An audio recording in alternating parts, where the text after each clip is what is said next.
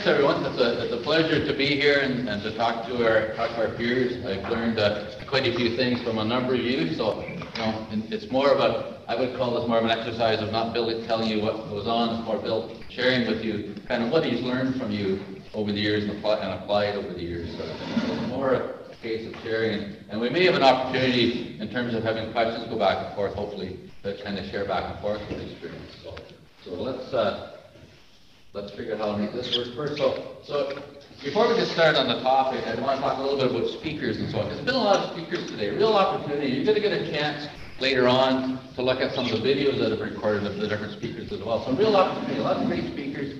Often people are speaking from their personal experience, uh, like like I am. You know, and we can indeed learn a lot from each other. Uh, this slide kind of cues me to, to, to, talk about one of my favorite maple producers. Um, so a number of years ago, um, one of my, sort of one of the people I really enjoyed listening to because he's very knowledgeable, a syrup producer from the States. Um, we traveled down to Erie, Pennsylvania to listen to him. Uh, he was he had expanded his operation and uh, he was topping tens of thousands of trees and he had went to um, high high brix and then an evaporator with uh, I think there were like two seven foot wide by 20 foot evaporators and so on and uh, and the talk we went to listen to was talking about the flavor and how that flavor um, sort of mimicked what his grandfather did and so on. So it was very, a lot of build up, and I tasted the serpent, it was great, and I thought, you know, on the way home I'm saying to you know, he's talking about the flat pan and everything, It's like we use steam, but that sure tasted a lot like we, you know, sort of like what we produce with steam. We're at the opposite end. We're high pressure steam, we're fast, get it through versus the slow it down and a big pan and so on. It was interesting, you know, but he was very passionate this was the way to do it. Two years later, he went to high pressure steam. So complete flip the other way. So, so I share that story with you because, you know, when you listen to me speak or anyone speak, you have to kind of recognize sort of the personal experience they're coming from, and they may move on and, and gain more knowledge. Someone who's been very, who's indeed very knowledgeable, to me, that was quite a flip of, of technique. And, you know, I was doing it this way and it was the best syrup ever, and now I've been doing almost completely the opposite. And guess what? It's the best syrup ever. So it's interesting. So always pay attention in terms of where the person's perspective is from, and I, I, should you know, cover that up so you don't think I'm trying to sell you some fittings. Um, but it is important to kind of get an idea of where, you know, where you're coming from. My objective today is not necessarily to outline the ultimate technique of how to collect stock with 5 6 piece tubing, because each of your situations is different. Each of our situations is different some of us have flat land, some of us have rolling topography. Uh, some of us, uh, there's one producer in Ontario has 120,000 trees all coming in one spot. There's other people that have 10 collection points for 200 taps. So it's a whole variety of things out there, and I can't possibly come up with one technique. Here's how you set up 5-6 piece tubing that works for everybody. But we can talk about some principles, you know, sort of as we go along, and, and sort of to give you a context of where our knowledge comes from uh, my son-in-law put together some data, kind of went back. We've been keeping records for a long time. Um, we've been using tubing since 1968, uh, remote pumping stations. I after the first year, we realized we needed remote stations, so we started that in 69.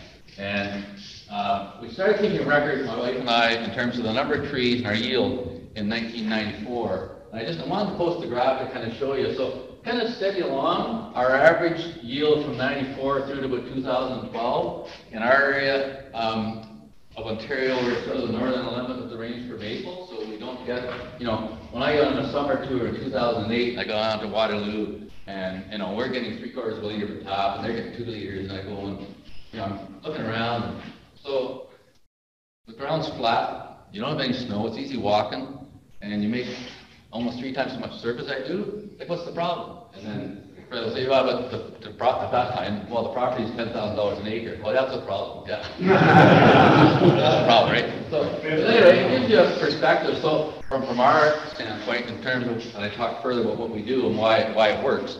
Um, so, you know, for you know, for 20 years, we thought the average production for our bush was about three quarters of a liter maple syrup per taphole, and the best we would do is a liter. So in 2012, um, I had to redo a piece of bush and 4,000 taps. So I'm talking to the equipment representative, and he taps trees about two hours further north than we are. So I'm thinking that this is kind of good for us. You know, in the northern part of the limited range for maple, how good maple trees can grow.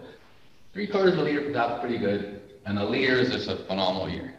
So I'm talking to the representative about ordering equipment, and, and, and he's early on in his career with, with, with the company, and most of the maple equipment manufacturers are based out of Quebec, as he was. And he was early on as a representative in Ontario, so his English wasn't the best. And so we're ta- talking away, and, and, and I'm, you know, he's telling me about his farm that's two hours north of me, and he's getting, you know, and in Quebec they talk about pounds per tap, we use liters. So he's getting four and a half pounds per tap. So I'm doing the math, so my eyes are rolling, because I'm going, okay, that's 1.5 liters. So he could see the, he could, like, he could read it across my red, my forehead, that, you know, Bill thinks this is bullshit. and it translated into French, so he could actually read it, and he's like, like, you don't believe me, do you? And I said, well, and then I explained, just as I explained to you, like, you two hours further north, never had more than a liter, which is three pounds, you're saying four and a half, you're trying to sell me a bunch of stuff, right? And uh, so, so he said, look, you hire my father and I put the tubing in, and we'll prove it to you. So he put tubing in the fall of 2012. 2013, we had 1.4 liters per tap. We got over half our sap from a third of our trees. You know, we had put in a system with wet dry lines, higher vacuum. We did a whole lot of things in one year, so I'm not sure which one of the, I learned later which ones were having the most impact. High vacuum, wet dry, check valve, uh, sort of almost everything. And so you can see what happened. You know, so, so from 2013, we only had one year below a liter, and a liter was the best we could ever do before. That's pretty encouraging stuff, you know, as a producer. So I don't have the research, you know, Abby speaks, I want to hear her, you know, her, her words and, and the, you know, the research and so on. So I don't have kind of scientific graphs to, to put in front of you, but I have sort of the, you know, our practical experience in terms of what we've seen. And yeah, we're blessed that Laurie has kept records over the years so we can kind of demonstrate this to people like you so we can learn from each other. And, and so when we saw that in 2013, that's a real encouragement. Oh, we need to, you know, we need to start paying attention to, to, to some things. And so what are those things? Like, so, so I boil it down to three, you know, when you come away from a summer tour, you know, you're hoping for three, you know, maybe three key things that you take home. So in a perfect in a perfect world, one of you somewhere along the line is going to remember all these three, and I'll be the guy that gave you only ideas you remembered from the whole summer. we'll see. So what are those three things? Well, high vacuum the top of it. we can talk about valves, we can talk about transit tubing, we can talk, can talk all these are the three. These are, if you can't put what your person is talking to you about into one of these three things, you're not thinking long enough. High vacuum at the taphole, number one. Number two, clean equipment, particularly at the taphole. The researchers say that about 70% of the bacteria that was in the stop flow comes from the spile. Okay, so that's why I say particularly at the taphole. So that's number two. The third thing is a good clean taphole. So Abby talked a bit about that as well. So those are the three basic things. Like we're talking about tubing installation. Again, I could get into talking about sap ladders and lifters and pump stations and all that. We can kind of reference them as we go through. But because your situations are all different, I would prefer to leave you today with these three things and some discussion on these three things so that you get thinking about those as you design and work with systems in your own woodlot. That's, that's my objective today. My objective today is not to tell you, this is how you put up a main line, this is how you put up a three. My objective is to come back to these things, sort of as, as we chat. Um, so these, you know, these, you know, so as, as the last, you know, these things like check valves, wet dries, replacing taps every year, how we clean, you know, color of the tubing, precision tappers, you know, all that stuff. You know, there's certain tools we can use to help us tap, and people ask me, you know, do you use this or do you use that, whether it's a precision tapper or tech, whatever, whatever. And, and on some things, I get kind of cute with people and say, you know, do you use this particular tool? And I'll say, well, that, that makes that particular task idiot proof, but I prefer not to hire idiots to work on my sugar bush. So, you know, I want people to think about things. You know, so you can give them the tools. There's, there's a place for tools. I'm not, not saying there isn't, but, but, you know, you want people thinking and doing things. So so let's tackle these three things sort of one at a time. Let's talk a bit about achieving high vacuum. Well, you, well, one of the things you need is a pump. You need a pump that will achieve a good vacuum level, and it's kind of sized appropriately for your woodlot. You know, we used to talk, um, about, you know, so many CFM per, per tap and so on. Um, you know, and I, again, we can talk about those numbers here, but you can get that type of information from the North American Maple Syrup Council manual, there are manuals online and so on that you can get kind of into that specifics. I think if I just bombard you with a whole bunch of numbers, they'll just become a bunch of numbers. So let's, let's kind of just talk about the principles. So, you know, size the pump for the woodlot, uh, then you need an effective collection network uh, that's adequately sized to get the vacuum back to the top. We often think about the system, how we get the sap to the tank, you know, you have to increase the size of the, of the main lines as you get closer to the collection point, all that sort of thing. So sometimes we get focusing on how we're going to get the volume of liquid to the tank. Really, when you're thinking about collecting the most sap, you should be trying to think about how to get the air, how to get the vacuum to the, to the spot. Because that's how you're getting the sap. It's not about getting the sap to the tank. The sap will get there. If the vacuum, if the air is at the hole with vacuum, the sap will get to the tank. As long as you have all the grade and so on, it'll get there. It's getting the vacuum, the air to the hole. So sometimes we have to think, sometimes we have to flip our thinking backwards to become more use the analogy of a wood splitter. Ninety percent of wood splitters are made, shove the wood through a knife, and then it's on the ground, and then you pick it up and put it back, and then split it again. The wood splitter I buy has a knife that goes through the wood, the wood stays there, I flip it over, it comes back through. My view is, you know, so whenever I look at things, I look at why is it designed to work backwards? A snowblower on a tractor, everybody has to turn around and back in. They make them can pull, they call it pull type, that's the type we have. So every time I see something, a task being done, I always ask, is that the right way to do it? Washing a barrel. People will put water in a barrel and they'll do what I call the barrel dance. They'll move the barrel through the water. So they're trying to keep the water in one place and move the barrel through it. But isn't it a lot easier to move water? So everything we think about, don't just do what Grandpa did or what the book said.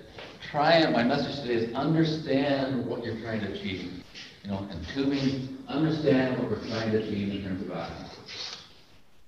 So we need a way to verify that the vacuum has got to the far of the system. So the third point on here is put as much thought and effort into measuring and figuring out how much vacuum you have out the of your tubing as you do in terms of resources to create that vacuum. There's no point in having a twenty thousand dollar vacuum if there's leaks and so on and you don't know what the vacuum is at the, the far end. I think we have, do we have a question? Yeah, I was wondering, Bill, so um, we have a spot in our sugar bush where a couple of uh, lateral main lines kind of come together near the top of a hill. And my dad's been kind of musing over the last few years about whether we could, you know, run a dry line. Like we have a dry line going back there, but run the vacuum from that dry line to the back of those wet lines on the other end to get the vacuum to the back, you know, make sure we're getting the vacuum to the back of the bush. You ever heard anybody sort of doing that kind of thing, or do you see any problems with doing it? I'm not trying to clear on that. You, you, you're just saying move a wet dry system So we, we've got a wet dry li- line going to the top of this hill, and there's several other lateral wet lines going back there.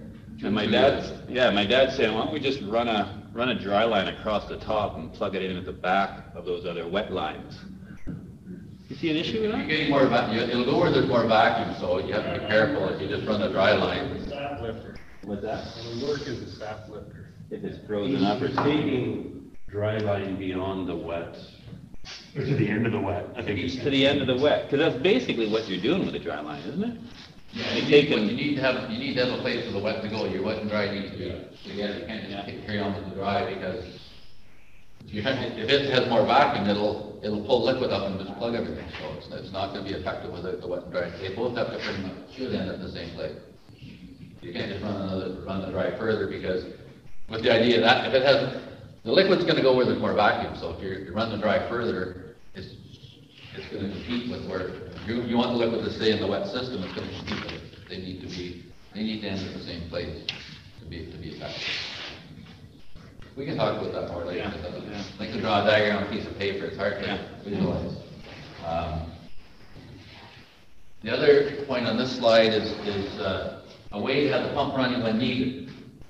We talk about, so I'm gonna flip your thinking around a little bit on this, because there's different thoughts out there in terms of, you know, some people say, when you set, you know, so ideally not allowing the vacuum to go, to go, to get in the way of a morning thought. So there, the thought process is, there's a thought process where you turn the vacuum pump on at the start of the year, once you're tapped, and you never shut it off until the season's done.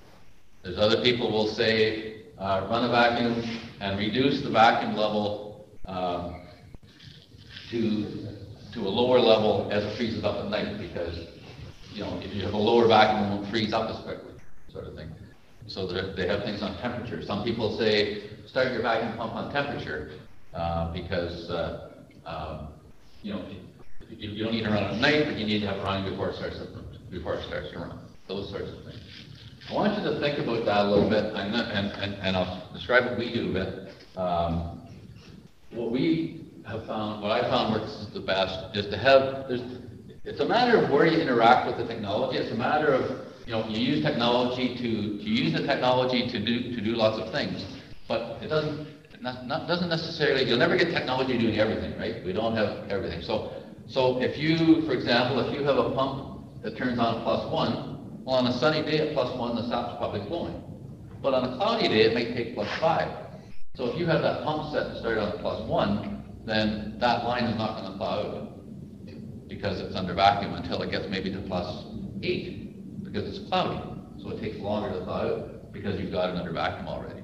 So in our system, uh, what we do is, where we interact with the technology is we monitor the vac, we monitor the level of the tank. So we're, at the first place where the tank is, where sap flows in by gravity into a tank, we have a sensor that measures that level. And the tank, the vacuum pump that puts, activates vacuum on that system is not turned on until the tank has another one or two inches in it. So every morning we go in, I write down the levels of all of, and we have, we have a sugar house plus five remote pump stations. I write down all the tank levels.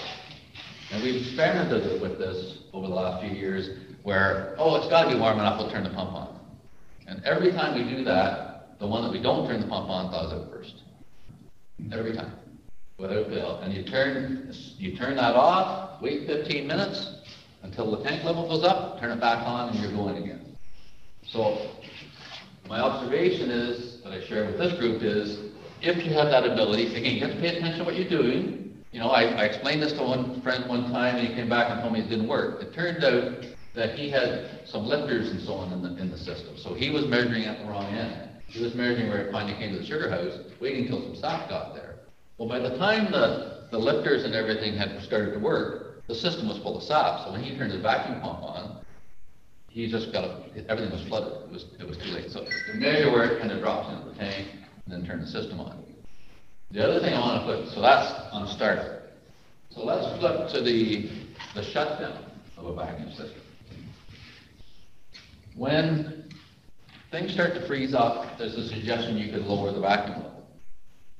And that would work. And we have uh, six points where we collect.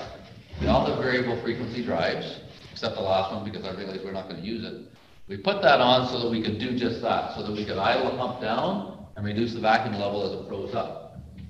We don't use it because sap will flow till about minus one and a half in our, and this is in our bush. I'm just speaking for, you know, check for your own bush, so about minus one and a half. Unless there's a leak. So the purpose of dropping the vacuum is to allow it to have leaks. And I'm, and, and our bush, like, we're, we're trying to, we, run our bush as a business, so every drop of sap means something. So I don't want, so I would prefer, like, yeah, I could reduce the vacuum and then we'd never know what the leak was. What we do is we go through, we've got a monitoring system, I talked about making sure you know, you know, a system to measure. So we go through, and as soon as, when- as soon as the first one or two freeze up, say a pump station has thirty ends, then we start writing them down, A twenty-two, A thirty-four. We'll write two or three down, and then maybe a half an hour later, we'll come down and we'll write another four. So the first three we wrote down as the first priority, and then the other ones are the second priority to look at for the next day. So rather than put in a system that, um, that reduces the vacuum level, we get out and fix the leak, so we can leave it on and get more sap.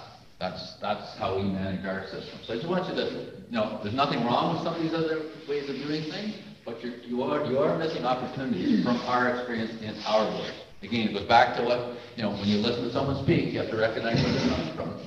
So in our situation, in our bush, that's what works best for us. It may or may not work for you depending, again, whether you have lifters or this sort of thing, but just think about what you're doing and life. It's really just those three things, vacuum levels, clean equipment, and clean holes, and good holes. So let's talk a bit about what we can do while we're installing and cleaning and so on tubing. Um, so what can we do while we're, while we're installing tubing? We can keep the laterals, you know, as short and straight as possible. Uh, some use what they call a strive for five, so sort of no more than five spiles before you get into a main line. Uh, you can use the slope to add, help add additional natural vacuum where, where it's practical. So in high slope areas, um, you know, on high slope area, you may run your main lines sort of parallel to the slope and then use the slope more in the small and five sixteen tubing sort of thing, so straight and as, put as much of the slope, because the, the vacuum, the artificial vacuum will work well in the main lines. It has a harder time getting to the little lines. So if you can orchestrate your system so that you're using the, the natural slope as much as possible on the smaller tube, the smaller the tubing, the, the more advantage it is to use the natural slope of the, of the system to help those, because the pump can only do so much. Utilize, uh, third point talks about utilizing wet and dry systems. People kind of use a, a rule of thumb of sort of a thousand feet, that, that when the, when the tube, when the sap and air leaves the small five sixteenths tubing into a main line, whether it's three quarter or one inch, kind of a thousand feet at two percent slope is, is sort of enough. And then you should be getting either to the tank or to some sort of wet dry system that will separate the liquid and the air. Bill, when you're putting those mains, uh, like parallel to the slope on the side of the hill, are you just putting the laterals on the one side? Well, I'm, I'm describing what the technique is, Yeah. and what the technique is, in this case, is a little bit different than we, than what we do. And the reason for that is, there's a cost to doing that, because you only have laterals on one side. That's right. But on a larger operation like ours, to have a whole lot of main lines that are just at the, sort of the one or two percent slope, just sort of at the minimum, creates a lot, like we have thirty-five kilometers of main lines. And if they were all at one percent slope, as soon as there's a little bit of an issue, you've got slugs of sap. So we do not do it that way. That's the best, that's the best practice, and you'll get the most, you would get more sap that way. We don't do it that way because of cost and because of patrol. If we, you know, so, so, so we, we do more of a herringbone where the, where the, uh, I flip to the next. So this is what, what we just talked about. So this is the, the blue line going up is the, is the main line, and then, at a- like the wet dry main system, the four oh one. Then the green lines are the main lines that are carrying both sap and air, and, and go along the slope, and then come to the wet dry. So the wet dry goes up the slope, doesn't matter how steep it is, because the liquid's in one line, the in the other. The, the green lines going across are at two percent, and then we use the slope of the hill to get the most drop into the small tube. So if you've got a densely populated stand, if you're running seventy taps an acre or more, and, you know, you've got lots of yield, and you've got, you know, you don't have fifty thousand taps where you're, you know, you can keep your main lines all nice and tight, straight, staked and all that, then you'll optimize your yield doing this. We don't do this, again, for those two reasons, because of the cost, but mostly because of the patrol.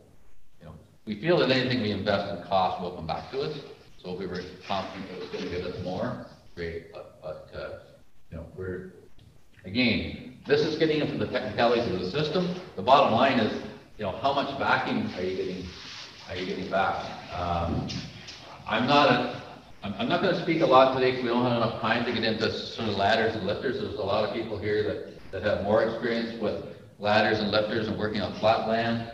Um, we tried an experiment, a very expensive experiment that worked fortunately. Uh, we had a wet dry system and we, uh, put it out, we had two percent slope on a two and a three inch line going out underground. And then the lot, for fourteen hundred feet, that was fine. And then for the last thirteen hundred feet, we only had five feet of elevation, so we only had 0.3 to 0.4 of slope. And so we left the size large, two and a three inch, and guess what? We're getting good vacuum at the other end. We're not, we're not, we didn't lose any more than half an inch of vacuum, even though we we're only at 0.3 of a percent, so we broke the rules. Again, but we didn't break the rule of vacuum, you know, high vacuum, that's it, that's all you need. You know, if you can, if you can go up, you know, bless you, if you can, if you can, if you can go uphill and get vacuum, I'd like to know how you did it, but if you can do that, great. Because that's what you're after, like, don't get wound up in, uh, well, so-and-so said you've gotta have at least three percent slope, or so, you have to have good vacuum at the tree, period. But when you're putting in wet dry systems or any systems, um, you always need to think, whenever you're doing anything, you always need to think about how you're gonna maintain things. So just, just sort of an example, if you're putting wet dry system in, uh, this is what we favor, they call it the whip, kind of a whip system. There's a manifold system like this one, and then there's a whip system where, you know, the, the small tubing goes into the main line, and as it gets close to the wet dry, then the liquid goes through a, through a stainless steel T, liquid drops, and then there's a whip going high, so the air goes to the, the upper line.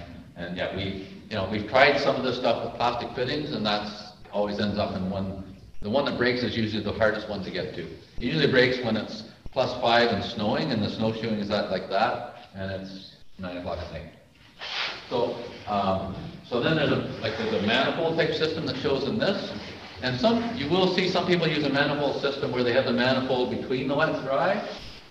I, I like this system better, you'll see how the manifold is away from the wet and dry. So the wet, picture the, the, the main lines moving around in a, in a massive storm. And if you've got the two lines tied tight together, there is no wiggle room. So we don't use this system, we use the whip system because it has even more flexibility and, and is less prone to need any maintenance. But some people do like to use those, so I'm not, I'm not advocating one thing over another. All I want you to go away from here is with those three key points. The rest of it, you can go to the North American Manual, you can talk to your reps and all that sort of thing. But, uh, if you can figure out how to do it differently, it's high vacuum, um, a clean hole, equipment.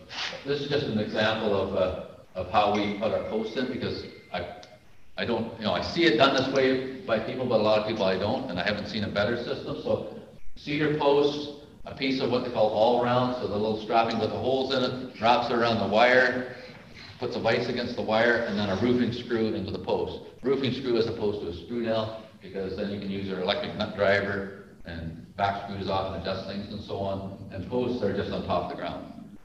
The wire holds the post up, and the post holds the wire up, they love each other. There's no need to be digging holes and carrying on, so.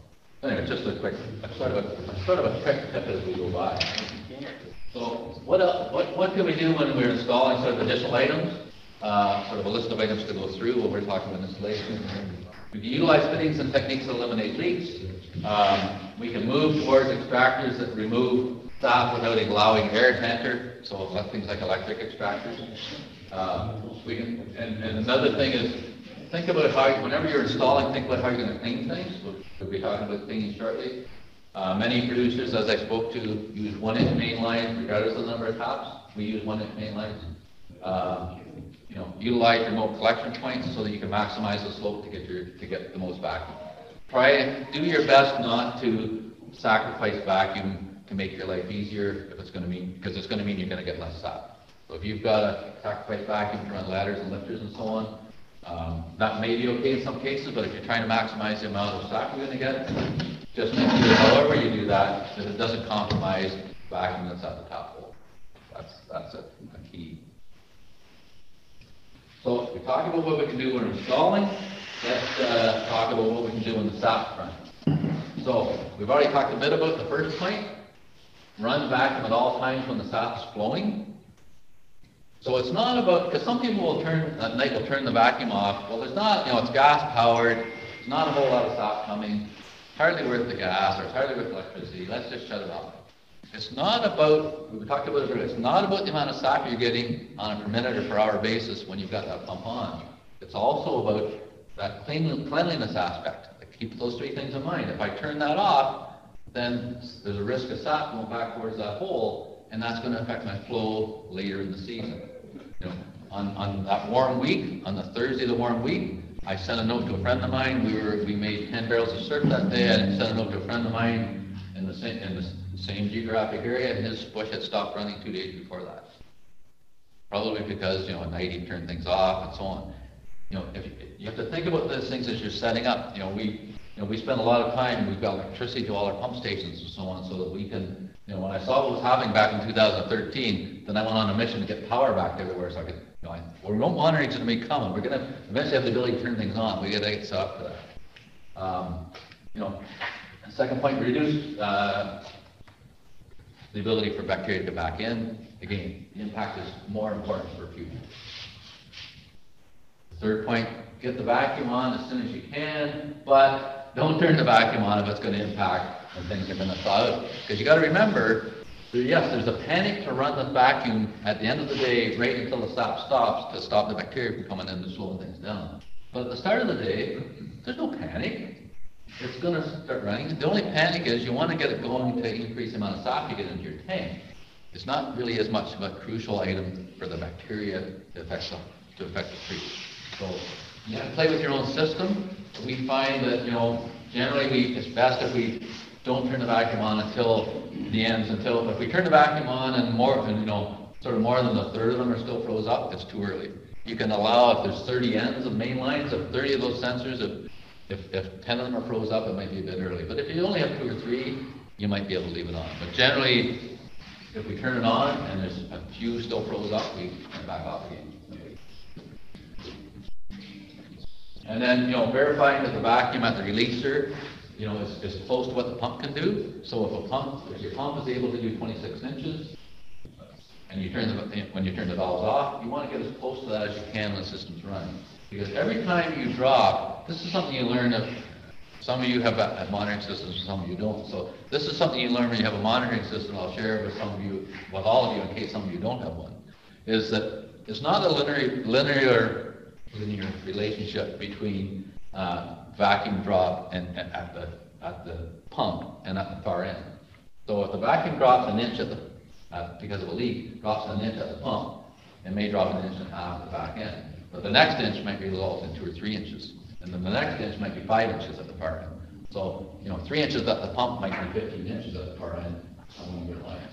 So it's very, not, it's not a linear relationship. So when you're, you know, for those of you who don't have a monitoring system, well, get one, first of all. But if you don't have a monitoring system, don't assume, you know, that, that, that, well, I'm just down an inch.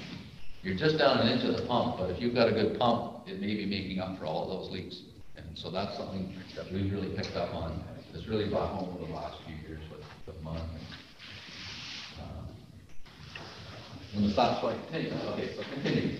Um, I think we've talked about most of these. Uh, each night as it goes for grease, and then turn down the vacuum levels, keep it running, and make note of where things are.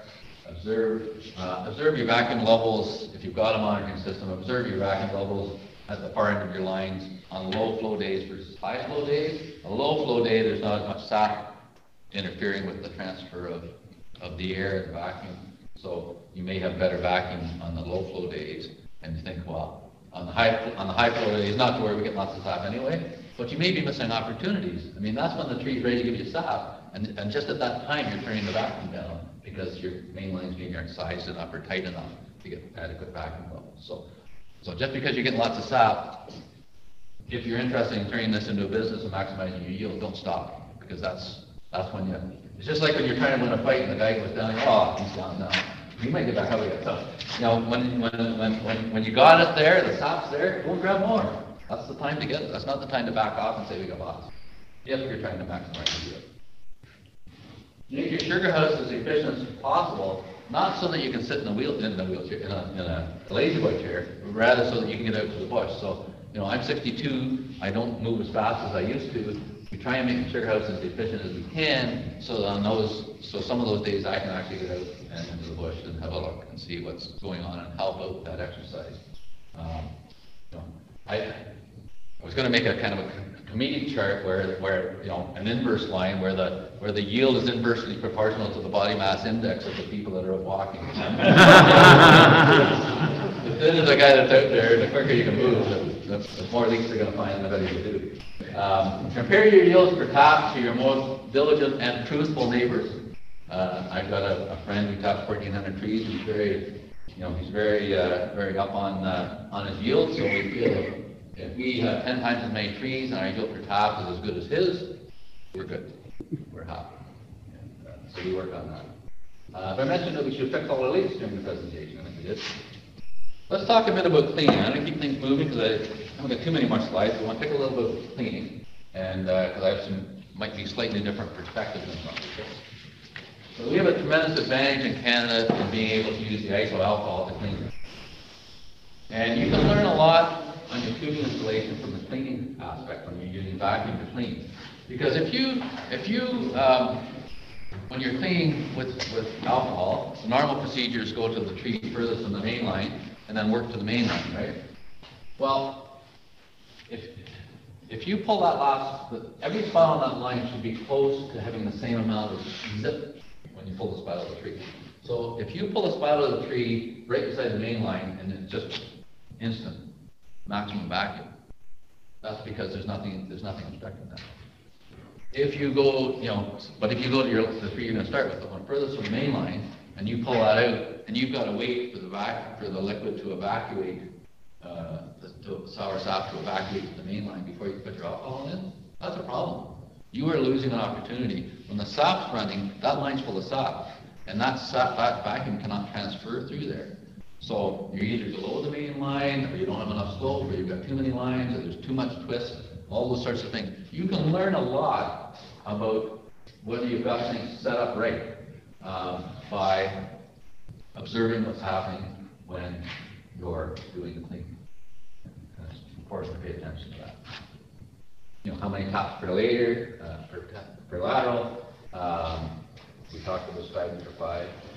Uh, a little bit more about cleaning, um, I'm gonna talk about, uh, practice that we use. So a spile is where the researchers tell us that seventy percent of the bacteria that gonna close the spile comes from. So again, I'm not gonna tell you how to do things, but I'm gonna challenge you to think about what you do. So my question to you, how many people here use vacuum to clean with? Pull up. Okay. I'm not gonna embarrass you by asking how many people, but I'm gonna ask you a question, you don't have to answer this one. How many people take this spile out of the tree, put alcohol in it to clean it, and then reach down to a T, and just after you clean this, suck all the dirt out of the T back into there, and then shove this into the dirty T? There's a few people, we stopped doing that. I don't know, I don't know research, no numbers to show you, but intuitive, that's why I say, you need to think, like, sometimes you can, you can do the research and, you know, people go to talks and they'll travel for hours to listen to a particular speaker and then they take notes and they can do it that way. No, just listen, think, and understand for yourself, and you'll, you'll be far better off. So, I've thought a lot about this, and I, well, why would I do that? Why would I do that? First of all, why would I use a black or blue spile? You know, like, color of spile is important, like, why would I use a white one so I can see if it's dirt, first of all? That's number one. Is it, if you can visually see there's bacteria there, then you know to put another one on. And, you know, well, why, do you- why would we use it, why would we use anything other than white? Well, a darker one, sitting in the sun, warm up sooner, the sap's gonna flow sooner, we're gonna get more sap. Hold on, let's go back to the thinking thing here, right? Okay, so the black spile thaws out. Has the tree thawed out? No. Black spile's thawed out, and the black spile has thawed out a bit- little bit of tissue around the hole, so that little part of the tree is warm, a little bit of sap comes. But it's, but it's warmed up there and bacteria is growing.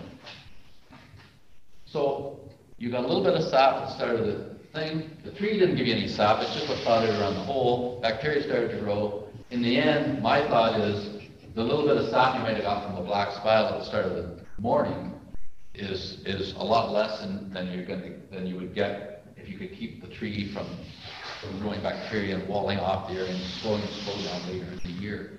So our thought is, use a white spile, we don't really want any sap until the tree thaws out, because that's when the sap really comes. You know, you can, you can take a blowtorch to the spile, but you're not gonna get more sap till the whole tree full thaws out. So that's why, you know, a white or clear, some sort of spile that you can see whether it's dirty or not, and then, um, take it out, put our alcohol in, and put it in something, there's many different, there's many different, every manufacturer has some sort of a cap. So we, uh, in our bush, um, carry these when, um, we're untapping. So we take the spile out, put the alcohol in, put the cap on, flip it to the line, and then it's there. The next year, we just pull it out, tap, we take these. We actually, some people leave these in the bush, we actually carry these out and clean them separately at the, at the sugar house. The first year we did this, we brought the first couple of bags in, and, uh, said to Lori, you know, can you help it, because she has some mobility issues, so she gets tagged with a lot of the camp duties.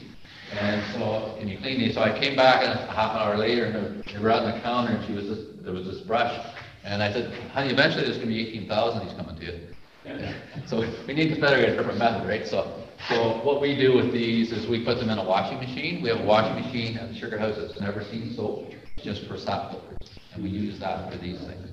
On a smaller scale, if you decide you want to try this technique, on a smaller scale, you could dump a hundred or fifty, or however many taps you have. You could dump them in a bucket of water, swish them around with a, with a, with a pole, dump that water, put fresh water, do it again. Just do it a few times to clean these out.